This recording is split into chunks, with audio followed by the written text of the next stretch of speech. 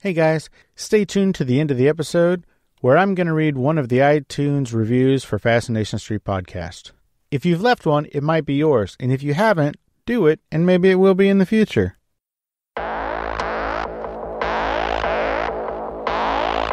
I believe that everybody has a story, and I'm fascinated to hear them. So come with me as we take a walk down Fascination Street. Hey guys, if you like what I'm doing, click the Amazon banner at the top of the homepage on FascinationStreetPod.com and do all of your shopping through Amazon. Once you click on it and it takes you to Amazon, you can bookmark it or add it to your favorites and you won't have to go to my site each time. It helps me keep the show going, and again, thanks for listening. Welcome back, Streetwalkers. Last year, I had the wonderful opportunity to interview director Paul Feig about his film A Simple Favor right before it was released in theaters.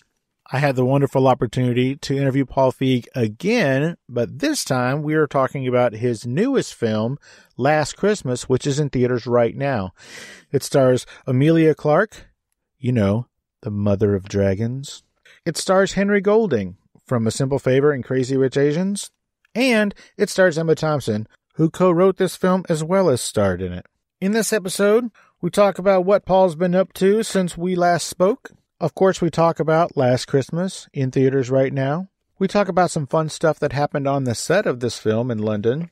We do a little bit of a deep dive into the soundtrack. This film's title is Last Christmas, which is a George Michael song. And so George Michael and his music play a very integral role in this film. We talk about how that sort of worked out and how easy it was or wasn't to get permission from the estate. And since he is an ordained internet minister, a man of the digital cloth, as he says, I ask him to do me a little favor. Plus, we talk about a really cool gift that he gave to an amazing actor and why. So enjoy, folks. This is my second conversation with the director of Last Christmas, Paul Feig.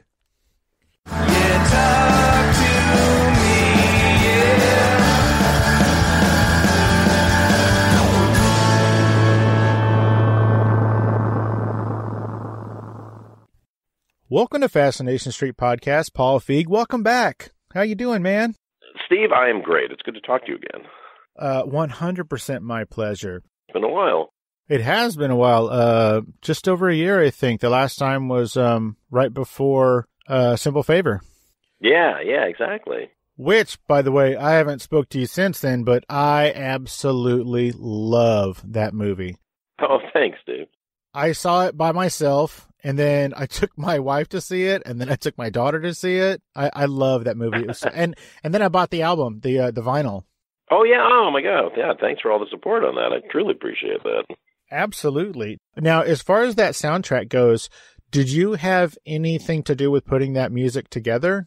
Oh yeah, that's all my job as a director. We anything you hear, anything you see is all stuff that we've we've we've come up with or approved or, or all that. No, I, I was when I was writing that movie or doing working on the rewrite of it. My wife and I have been listening to a lot of uh, '60s French pop at that time. We were just kind of obsessed with it, and as I was writing and doing these rewrites, I was just going like, this is kind of the sound of this movie because it kind of fits with this woman who, you know, Blake's character doesn't even want to kind of be in this neighborhood she's in. She wishes she was somewhere else, and so I love the idea that she kind of wish she was in Paris, and so she brings that along with her. And and you know, I just like to have a uni- unifying sound when I have a movie. You know, I mean, this new one I just did has all George Michael tracks in it, but you know, you, you need some. I always feel you need some kind of musical unity to just kind of, I don't know, to frame the whole film, really. Oh, I, I 100% agree. And uh, just real quick, one more thing about a simple favor. Uh, I thought it was hilarious as I was watching it that every time anybody was drinking anything, it was aviation gin.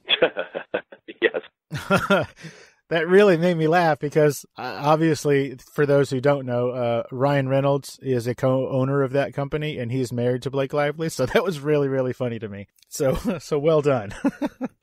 yeah, no, it's funny. It was very, it was kind of weirdly unintentional, just because uh, we were trying to, you know, we wanted to have a gin on the set, and they kind of had these fake bottles, you know, from the prop department. I was like, well, let's have a real one, and so I was actually going to call Hendrick's because I, I, I'm a big Hendrick's drinker, and um, Blake was like, "Oh, you know, actually Ryan has this this gin that he really likes, and you know, and we know the company and all that, and you know." And then she showed me the bottle. I was like, "Oh, that's a cool bottle. Let's put it in." I did, but I didn't know at the time he had actually bought the company. Oh, that's so, so funny. so, but God bless God bless Blake. She's hilarious when she, you know, pulled something like that off. But you know, it's such a good looking bottle, and you know, I really do like. Oh, it's a gorgeous bottle. Absolutely. Yeah. And so, with that in mind, uh, you know, I don't know what your next film is going to be, but if there is a podcasting uh, part of it, go. Feel free to to use Fascination Street podcast. there you go. I like it. There you done done. All right, Paul. So you have a movie that's in theaters right now. It's called Last Christmas, mm-hmm. and of course, the title says it all. It is a Christmas movie, and so I guess my first question is uh, why did you open a Christmas movie in the first week of November? Because uh, if you open it the week before December, you have one week to make money off of it. you want to, you know, you want to have it in theaters long enough for people to to be able to see it, and to, you know, because once Christmas is over, then then the movie's gone. So you know, nobody wants to see a Christmas movie after Christmas, especially after New Year's. So. um you know, uh, maybe it, it was open a little too early, but also the competition in these last two months is so so heavy, you know, with Frozen 2 coming out and all the Oscar contenders and all that, that you just, you know, dating a movie is very, very challenging, you know, and this just felt like it gave us gave us a, a few weeks without crazy heavy competition from big the big juggernauts, you know, Star Wars and all that kind of thing. And um, you know, you just hope it stays around in, theaters uh, until Christmas, and that the theater owners will will keep it in there and not you know and take it out. But um, you know, it, it's a uh, it, it's a calculated risk.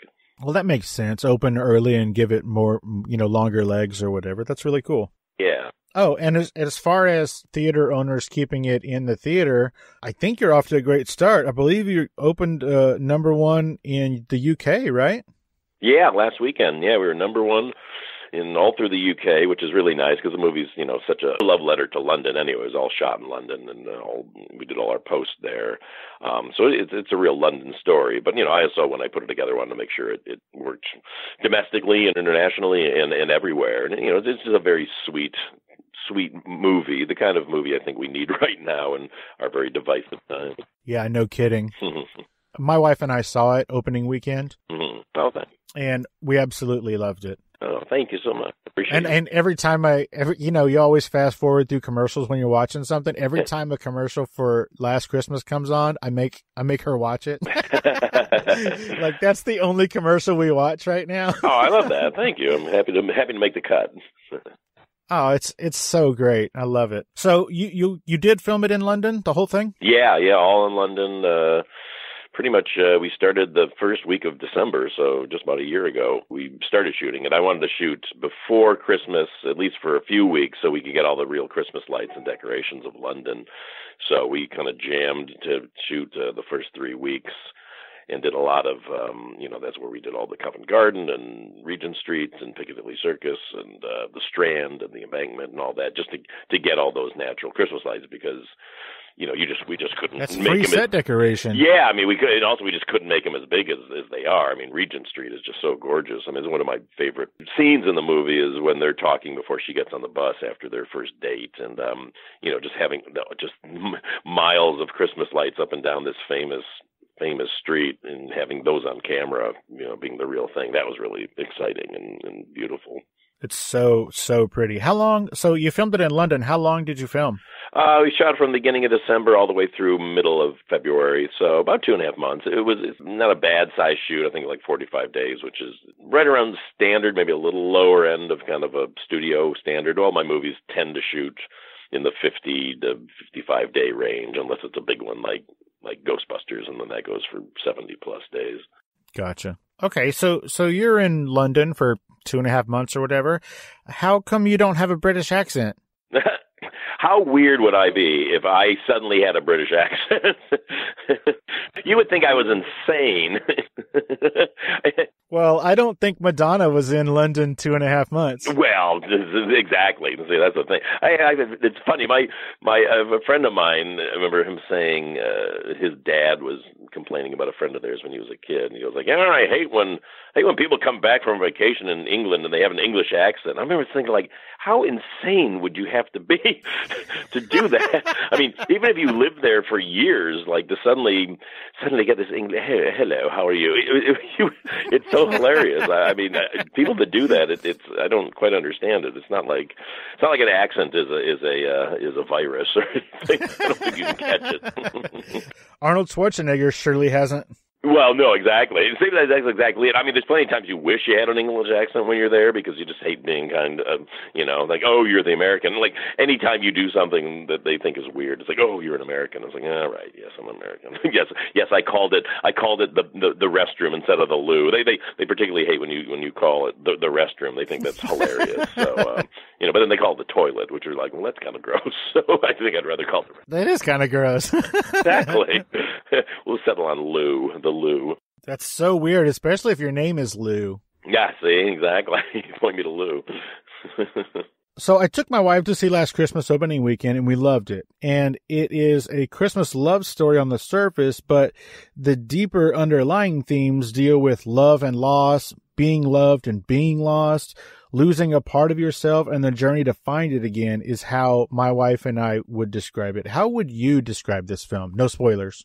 I mean, that's a really, really good description, I have to say, because it, is so much about this character of Kate, played by the amazing Emilia Clarke, and, and just how, you know, when we meet her, she is, she's a mess, and she's really, you know, going through issues that we later slowly find out has to do with this health thing she went through, and the fact that she doesn't feel complete and and how you kind of lash out at yourself and how you lash out at the people around you you know and and how she just has to kind of be brought back into reality or just back to the normal world by both you know meeting up with the character of Henry, of Tom who's Henry Golding and also just being forced to kind of go back to her family and to to see them as the the humans, the vulnerable humans that they are, just like herself. Um, you know, though when I read this script, you know, that Emma wrote that she sent to me when she first wrote it, that's what I really loved about it. I just thought, you know, it's such a kind of a redemption story, and which is, you know, which is really perfect for for being a Christmas movie. Just so everybody knows, um, when Paul said that Emma wrote. Uh, Emma Thompson is one of the stars, and she also co-wrote the film with her husband, or I believe, right? Co-wrote the screenplay with her husband. They wrote the story together, she and Greg Wise, and then uh, Emma wrote it with um, Brian E. Kimmings, who's an amazing playwright. Oh, okay, gotcha. Thank you for that. Yeah. So the last time we spoke, we were talking about a simple favor, and Henry Golding was in that as well. And at the time, that was before obviously before Simple Favor came out and before Crazy Rich Asians came out. And I remember at the time you telling me that this guy is going to be a big star. Now, I saw both of those other movies, uh, Crazy Rich Asians and obviously Simple Favor, and mm-hmm. I agree he is going to be a big star. He's already a big star, but I had no idea that you were single-handedly going to make him a big star by putting him in all your movies. well, credit has to go first and foremost to Jon Chu, who who you know who discovered Henry for Crazy Rich Asians, and you know, and really took a chance on on a guy who had never acted before. You know, I mean, Henry was um, well, he started as a hairdresser uh, in in London uh, in a very fancy place on Sloane Square, which is a fancy neighborhood, and then he um wanted to get into presenting, so actually went back to Indonesia and um, and hosted in Singapore and, and hosted a um, a travel show for the BBC there, and that's what both Jon Chu and then myself saw was was this sizzle reel that he had done of him hosting the show, and you're just like, oh god, this guy's so funny and fun and gorgeous on camera and confident, and you know he just he had that charisma that you you know just couldn't deny, and so you know for Simple Favor, I, I was trying to just figure out who to cast for that role, and my wife, who was a big fan of the Crazy Rich Asian books, she hadn't even, you know, hadn't seen it because they had only just finished shooting it. Said you should look into that cast, and so I, you know, I saw his name and looked up that material on him, and it was like, wow, this guy's great. Then I called Jon Chu, and just said, you know, is, how was your experience? Is he like the real deal? And Jon's like, yes, he totally is. He's completely directable. He's so wonderful and he's super talented, but he's, you know, lovely to work with. And I'm like, that's everything I want to hear as a director. So yeah, you know, you know, he had really had to run a gauntlet of auditions and chemistry tests to get approved by the studio uh, at the time. Sure. Because, you know, again, because nobody had seen anything he had done. So flash forward to, you know, I had a great experience with Henry. We really became close friends from from Simple Favor. So when I read the script for last Christmas, I remember thinking, "Gosh, this is Henry. You know, this is who this is the Henry that I know in real life, who's this this wonderful, upbeat, positive, funny, charming guy."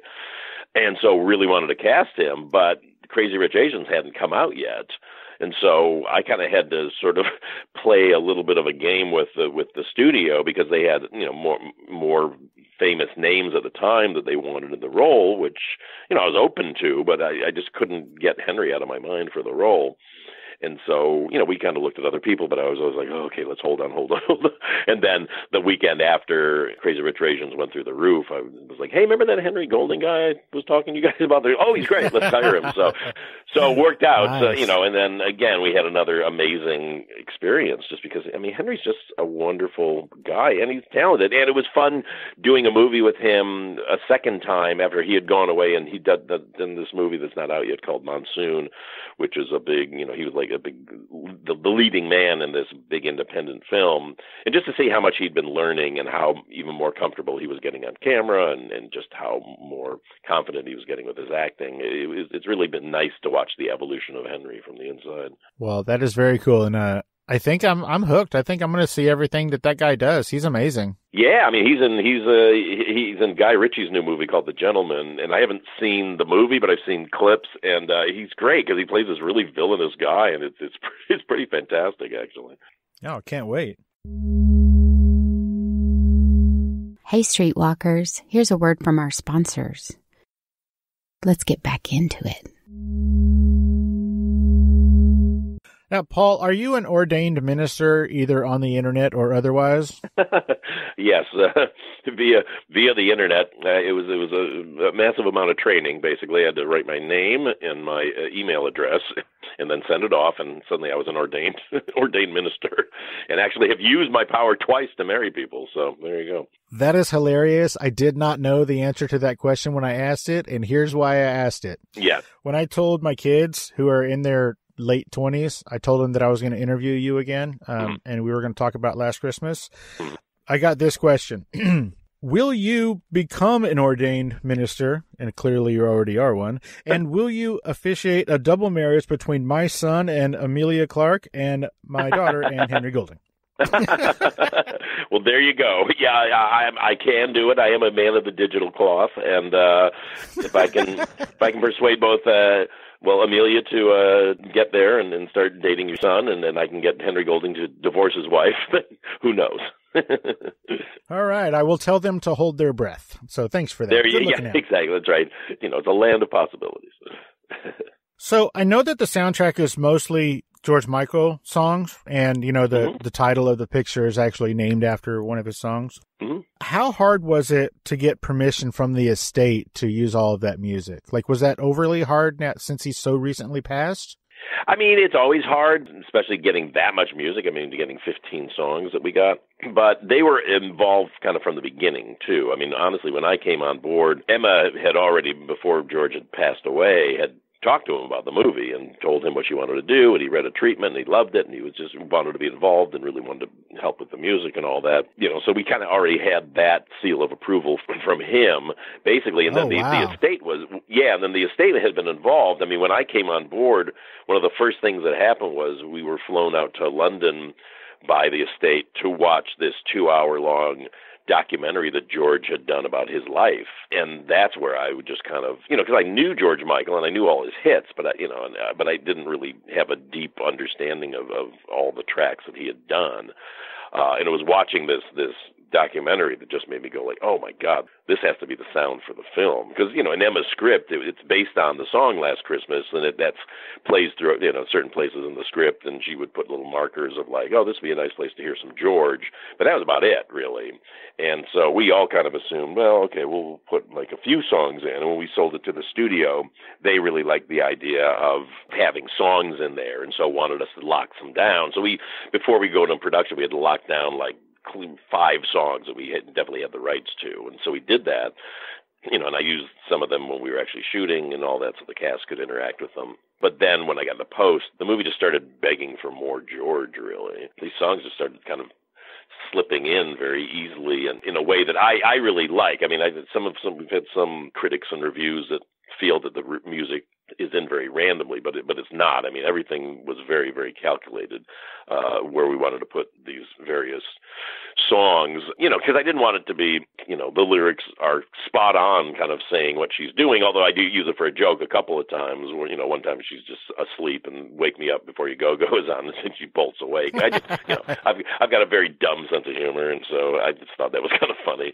But then you know other things. I, I call it uh, basically it's like a soundtrack of your life movie, which is you know, we established that George Michael is her hero and she's a wannabe singer and all this. So, you know, just like when you have any favorite music in your life, it kind of becomes the soundtrack to your life. You know, if you're in a certain mood, what song do you put on to kind of either make yourself feel better or to play into the emotion that you're feeling? And, you know, so that's really how I faced all these songs. And I'm very, very proud of how we use all the music. And I think, you know, upon multiple viewings, people will start to see exactly why we did what we did. Well, I loved it. Oh, and uh, you briefly mentioned um, critics.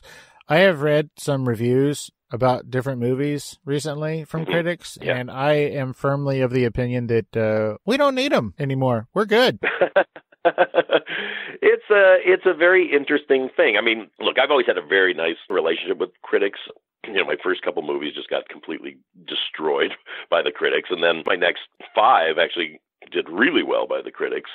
You know, so now to have this one kind of get hits, you know, we were like right around like 48% on Rotten Tomatoes or whatever, which, you know, is, is low for one of my movies, but it's not in the basement also. But I, I understand the whole thing of critics. You know, there's so much stuff competing for our time now that we do need somebody to weed it through. My only thing I would say with critics is just in general, if they don't judge it based on what we were clearly going for, it starts to feel a little weird. And this goes all the way back to when I did a movie called Unaccompanied Minors, which was my first Christmas movie back in 2006. And Lewis Black played my villain you know, it's a kids movie, and I remember some of these reviewers being so angry that like Lewis Black wasn't able to swear and stuff, and you're like, well, you can't knock me for that. It's a kids movie, so I can't have Lewis Black screaming the f word all the time. So, so that that's those are moments I go like, well, okay, now you're not judging us fairly on sort of what we are you know, and so that's really I, I just kind of look at it that way. But I, I, I never get mad at the critics. I mean, sometimes what I don't like is is when suddenly some critic is kind of a frustrated comedy writer, and so their comedy routine becomes how much they can destroy your movie in their review with you know sort of funny jokes and put downs and snarkiness. Then you're kind of like, all right, you know, this this is a bit of a pile on here, but you got to take the good with the bad. And it, you know, I, I really relish when I get good reviews. So if I do that, then I've got to look at the bad ones. but you, as you go on and on in your career, you start to care less and less. You know, look, you never want that movie to have bad reviews, just be, for the main reason that if it keeps people away from the theater, then that's that's a bummer, you know, because because if if somebody's kept away from something that they you know they would actually like because they read some snarky review, then that's sad. But you know, people eventually always find movies. You just want to, as a filmmaker, you want to make sure that they find when they're in the theaters, so that the movie makes money, so that then you get to make more movies. Because if your movies don't make money, then you don't get to make movies anymore. I, I heard that. yeah, it's weird, huh? It's such a weird uh, system. That is so weird. Um, I got a little nervous with all those sirens that the uh, critic police were coming to get you. Oh, you heard? I'm, I'm in the, I'm in my apartment in New York. It's noisy. nice. So I heard that there was a lot of corpsing on the set of this film. Was there? Oh yeah, oh yeah. I, I love you know that term. That's a very British term. I I I only learned that sort of uh, over the last few years. You know, for those in your audience who don't know what it means, it means everybody breaking up on set laughing. Yeah, there there was. Emma and Emilia kind of really cracked each other up, and and uh, there's one scene in particular where Emma's supposed to sing Emilia's character to, to sleep with this really depressing Eastern European uh, lullaby, and it's a dirge the dirge i know and then they just they really couldn't hold it together but it was i i love that and nothing makes me happier than when my cast kind of can't stop laughing. It, it was so funny so many crew members and stuff get really upset about it you know because they just i don't know they feel like time's being wasted and this and that and i'm always just like this is hilarious because a they're having a great time b i know i can put it on the dvd extra and it's going to be really funny and fun to watch and c it just shows me that they're feeling comfortable enough on a set to be able to to to do something like that. You know, I I, I want my sets to be fun. I, I don't want a movie to be a, a drag to work on. I can't work that way, and I don't want my cast to feel that way. So yeah, the more laughing there is, the happier I am. Well, I think that you know maybe the, the some of the crew that gets a little angry, maybe they're holed over from the days where you know you were shooting on actual film and that was really expensive, and now everything's digital, so it's not. It's just time and, and not all that money. No, that I mean that's a, that's a exactly spot on observation. Yeah, you know, because uh, when it happens, you know, you'll always see somebody like still rolling, and it's like, all right, calm down. It's a, it's you know a computer chip. Like we've got a million of them. It doesn't really matter. Uh, you know, obviously, if you're running out of time, that's really hard. And there's some days where we're just like so behind, you know, under the gun to kind of finish at a certain time. So those, are, you know, occasionally you're like, oh God, please guys, pull it together. But then I don't know. I still, I don't know, I just still really enjoy it. Well, I do too. now, thank you for talking to me about those two films. I want to tell everybody to go see Last Christmas in theaters right now. And yeah. for those of you who are Amazon Prime members, A Simple Favor is free on Amazon right now to Prime members. So go oh. check that out too if you haven't. I didn't even know that. That's great. Well, you are welcome. now, I would like to read you a quote from an amazing actor, and I would like to get your take on it. Maybe you can tell a story behind it. All right. This is the quote. And if you can't figure out who it is, I'll tell you, but I'm sure you'll get it. It says, Thank you, Paul Feig, for your incredible gift of this beautiful walking stick. Bearing the likeness of my favorite playwright from my favorite film director, I will cherish it. Smiley face with several hearts and exclamation points. Who oh. said it, and why did you give that to them? Oh, good old Tim Omundson. He's the greatest. No, poor Tim, you know, who starred in um what was the name of the show? It was a really fun show that was on ABC. It was Psych like a, on USA. But what's the other? No, but there's another one he was on that was. um Oh, uh, Galavant. Yes, exactly, exactly. He's a lovely guy. I've met Tim when I did the very last episode of The Soup, we did like a telethon, kind of a fake telethon, and he was on it. And uh, he was just such a lovely guy and super funny, and we've kind of become friends.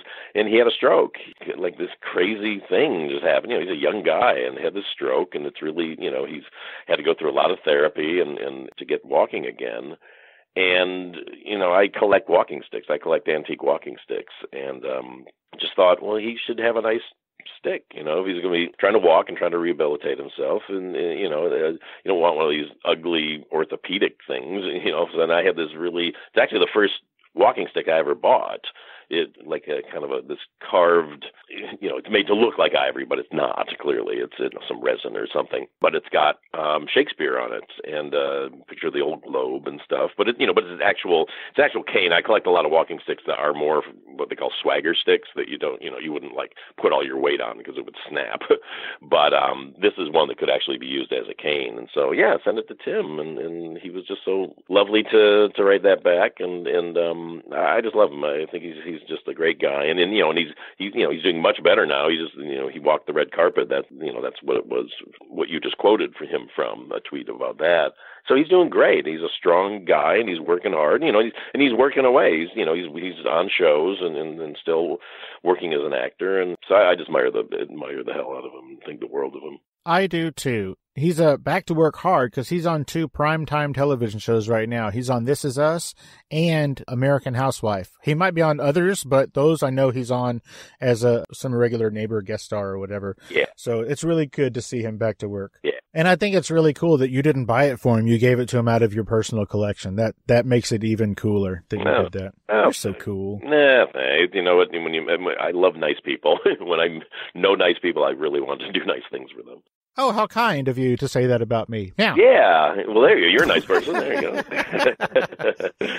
So I just have two quick questions before I let you go. Yeah. One, what do, what do, what are you wearing? right now, it's actually embarrassingly I'm, I'm full shirt and sweater because I'm holed up in my New York apartment writing, which I usually dress nicer when I write, but for some reason I'm I'm kind of down and dirty today as I try to get through this rewrite on this monster movie that I'm doing. Oh, nice. Oh, a- monster movie. Interesting. Dot dot Yeah. dot. Very cool. Exactly. And so that sort of goes into my last question. I know it's a little it's a little gauche to ask, but everybody asks, so I'm going to ask. So what's mm-hmm. next? Well, the monster movie, hopefully. I sold this uh, idea to Universal Studios based on, you know, the old classic monster universe that they've had since the 1930s, and they really love the idea. So um, I'm into my second draft right now. They read the first draft and, and loved it, and we're just fixing a few things and trying to, you know, make it as be- as good as it can be. And um, that I'm hoping I go into shooting that you know, next year. Hope I'd love to start prepping this at the beginning of the, of the new year. So see how this rewrite goes. But um, yeah, I'm very very excited about it. I love those old, you know, the old James Whale films like Bride of Frankenstein and the original Frankenstein and, and Invisible Man and all those things and, and you know Tod Browning's um, Dracula. I just love that feel because they were scary and they took the genre very seriously, but they also had fun with it too. And there's like, you know, it's kind of, you know, a lot like my movie Simple Favor, where you go like, okay, we're really in the genre, but let's have some fun with it and, and have some laughs along the way, just because it's a genre that is very extreme and over the top sometimes in kind of a, a great way. And I love, you know, I love nothing more than extreme characters set in a real world, or at least acting the way they would act for real in this whatever crazy world we put them in. So that's what I'm that's what I'm doing right now. Well, I am looking forward to that, my friend. Thank you. Now, just in case you were looking for ideas, which I'm sure you get pitched things all the time, Hmm? I think you should do either a movie based on where is Hattie McDaniel's Oscar because nobody knows where that is. I think that'd be a really cool thing. That's the job. Ah, it's, it's kind of like na- National Treasure or whatever. Yeah, something like that. some kind of a, a action action movie. I like that. Or even do a biopic of uh, of Gig Young. And for those of you who aren't familiar, look him up. That is a crazy story. yeah, yeah, it's a good one. Now, Paul Feig, thank you so much for taking the time again out of your clearly busy day My pleasure. to hang out again and let us get to know you a little bit even better on Fascination Street. It is always a pleasure to talk to you, and um, I'm so happy to get to do it again. Sweet. Well, until next time, sir. And remember, everybody, go check out Last Christmas in theaters right now and go check out A Simple Favor on Amazon Prime for free for Prime members right now. There you go. Yes. Thank you, Paul. You have a great rest of your week. Thanks, Steve. You too. Great to talk to you. Bye bye. Cheers. Bye bye. This is an iTunes review for Fascination Street Podcast.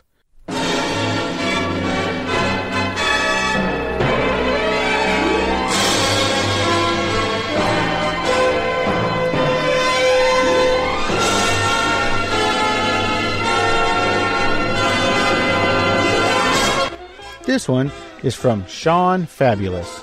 She sounds hot. It says, Prepare to be charmed. A lovely collection of stories about fascinating humans. Every person has a story, and this guy will bring it to you with humor and charm. Thanks, Sean Fabulous. That was a five star iTunes review for Fascination Street Podcast. Rate and review Fascination Street Podcast on iTunes, and maybe next week I'll read your review.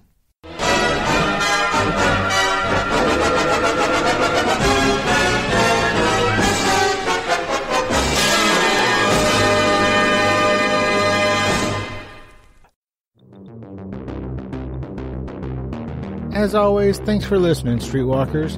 And don't forget, follow the show on Twitter at FascinationSTPD, on Instagram at Fascination Street Pod.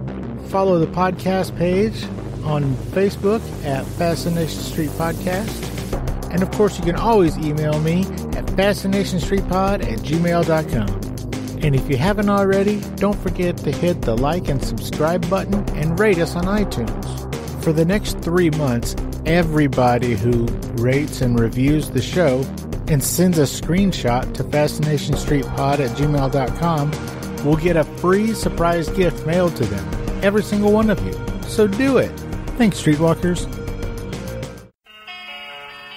Opening music is the song Magnolia from the 2014 album Intransigence, used with permission from Douglas Miles Clark. Closing music is Apollo from the 2001 album Into the Known by the band Sapphire. Thanks for hanging out with us and getting to know a little bit about our guest. We'll see you next time on Fascination Street.